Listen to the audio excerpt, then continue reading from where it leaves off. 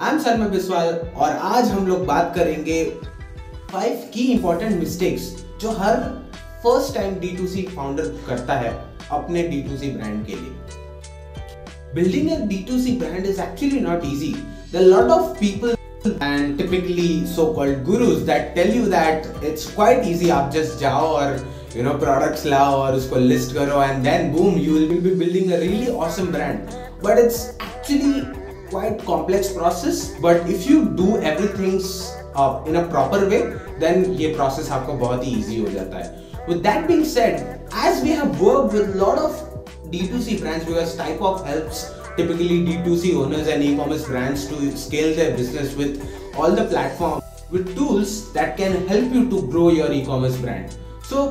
दस हज़ार e commerce brand के साथ काम करने के बाद we have got to know that there are typically five mistakes which every first time e-commerce founder makes so let's cover this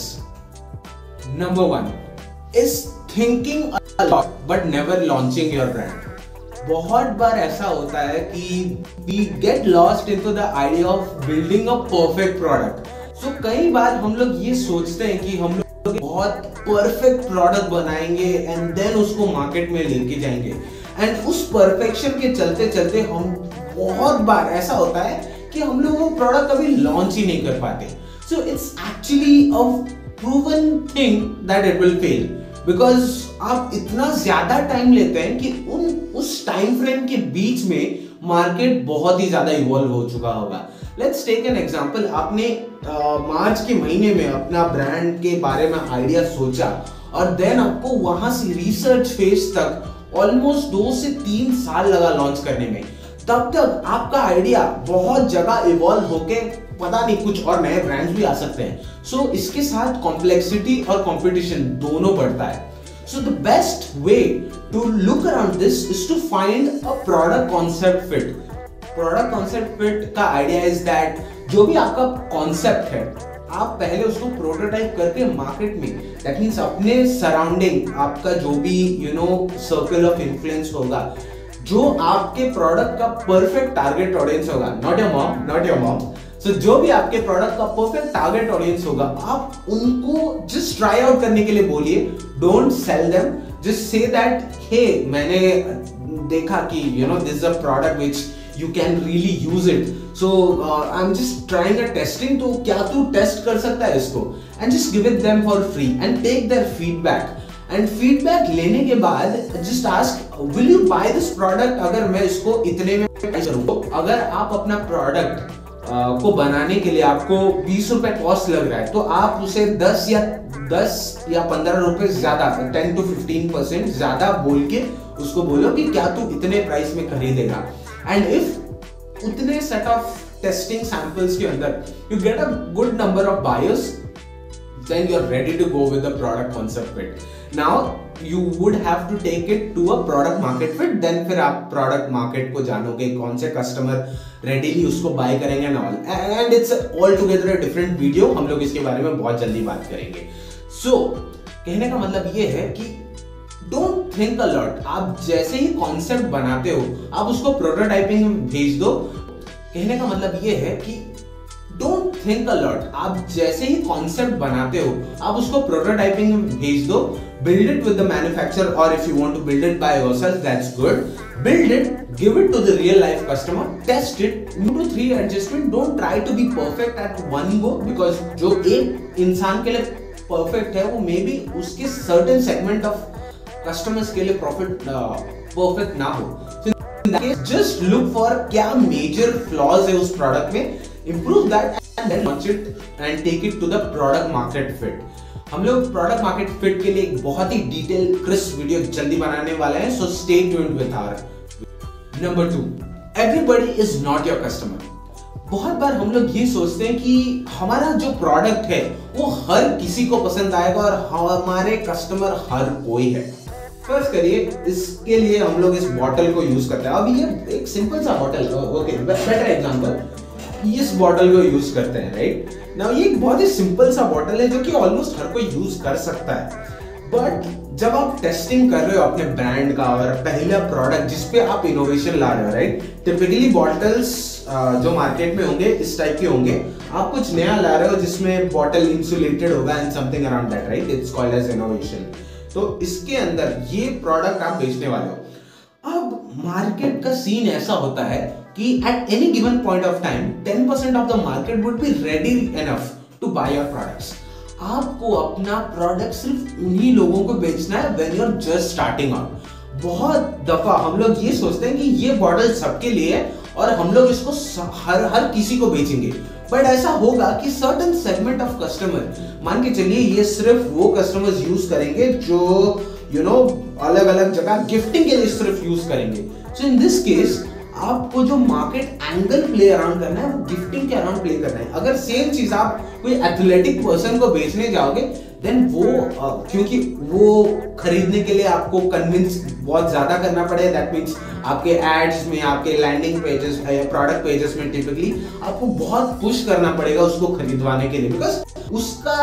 उसके डेली लाइफ में ये बॉटल का यूज़ उतना नहीं है राइट? सो वो सेगमेंट मे बी बाद में रेडी होगा अराउंड डिफरेंट वे जहाँ पे प्रोडक्ट मार्केट फिट आता है but currently it's not there right so you got think कि ये जो मैं बॉटल बना रहा हूँ, इसका बेस्ट कस्टमर क्या होगा? Before I go in to product market fit इसका बेस्ट कस्टमर क्या होगा? इसका बेस्ट यूज़ केस क्या होगा? Right right? आप सेम चीज़ प्रोडक्ट कॉन्सेप्ट में कर सकते हैं but it's better to do it on the product market fit so the idea is all about knowing your customers really well जैसे हम टाइप ऑफ़ में founders who who want to grow their business and build it. And they and they want everything in just one tool एक tool उनको मिल जाए जो सब कुछ कर सकता हो। दैट्स समथिंग और उनको एक्स्ट्रा कॉस्ट हर टूल हर प्रोडक्ट के लिए ना देना पड़े। जैसे रिवॉर्ड्स के लिए अलग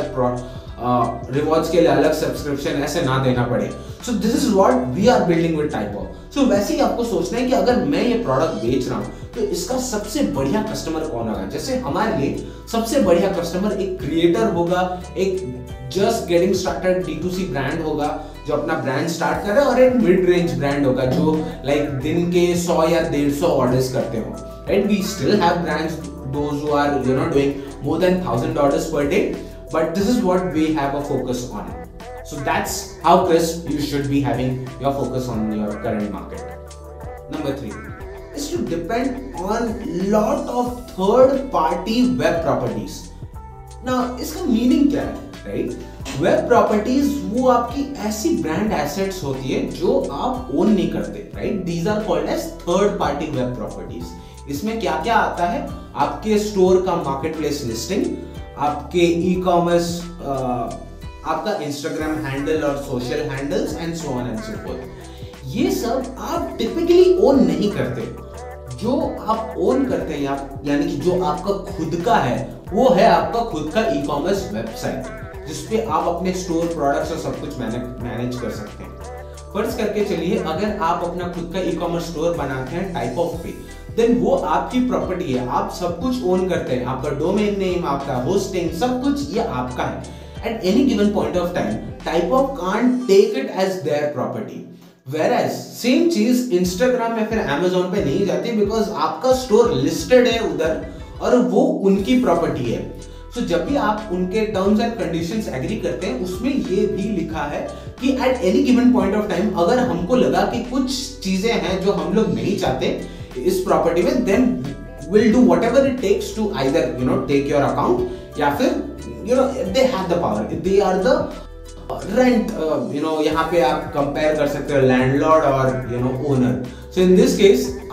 आपने क्योंकि एक रेंटेड जगह लिया है इंस्टाग्राम या फिर मार्केट प्लेसेस पे तो वो आपका एक रेंटेड हाउस है विच इज़ इंपॉर्टेंट आप जब ब्रांड बिल्ड कर रहे हो ऑब्वियसली ब्रांड बिल्ड करने में बहुत पैसे लगते हैं राइट सो यहाँ पे थोड़े बहुत ऑडियंस है अभी भी right your focus should be to drag audience from rented house to build the product which you are building right that's your own e-commerce website right so keep that thing in mind कि whenever you are planning to launch make sure that you have a really good balance of third party web properties and your own web property which is your own e-commerce web store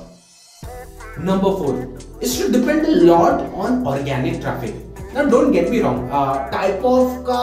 core focus यही है कि हम e commerce brand को वो organic lift देने में बहुत help करें type of has got to inbuilt SEO tools inbuilt product page optimizers and so on and so forth जो कि आपके प्रोडक्ट को ऑर्गेनिकली गूगल सर्च या फिर वेरियस सर्च इंजिन में लिस्ट करने में हेल्प करता है without actually depending on different agencies but depending solely on organic traffic is not the right way when you're just getting started. क्योंकि उस टाइम पे आपके ब्रांड को कोई नहीं जानता होगा, आपके प्रोडक्ट्स को कोई नहीं जानता होगा right so it's very critical to have a mix of both paid ads and obviously organic traffic उससे क्या होगा? आपका बैलेंस मेंटेन रहेगा।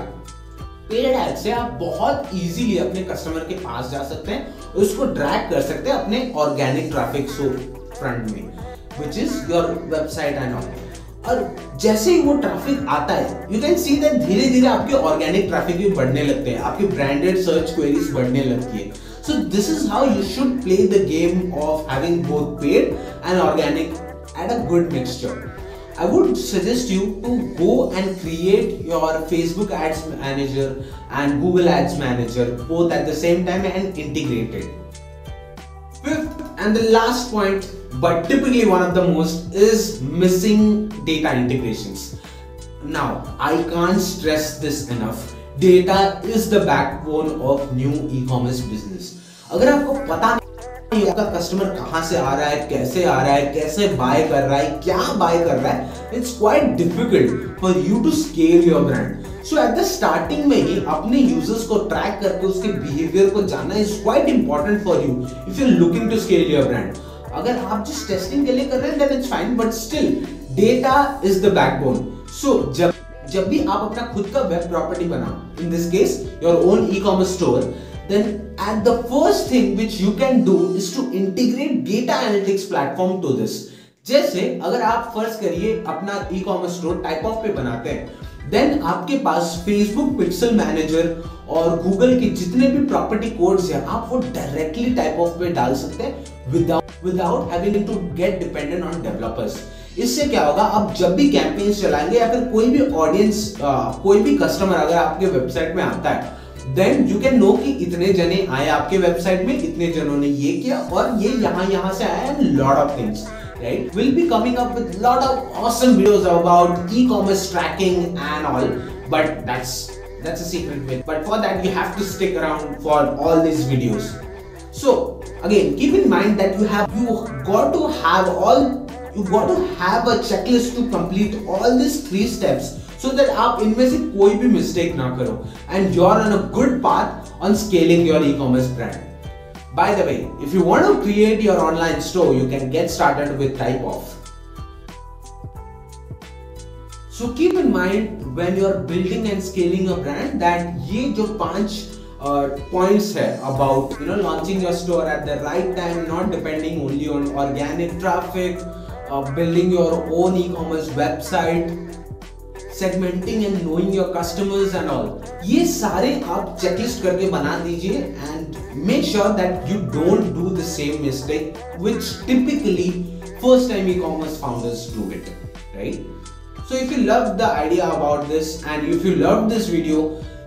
just press the like button and keep subscribing for more such amazing content. So in next coming videos, we're going to show you different ways of helping you to market your brand. आप कैसे अपने customers acquire कर सकते हैं कैसे उन्हें loyal बना सकते हैं so on and so forth. For that you have to keep subscribing type of and watch our videos. Stay tuned.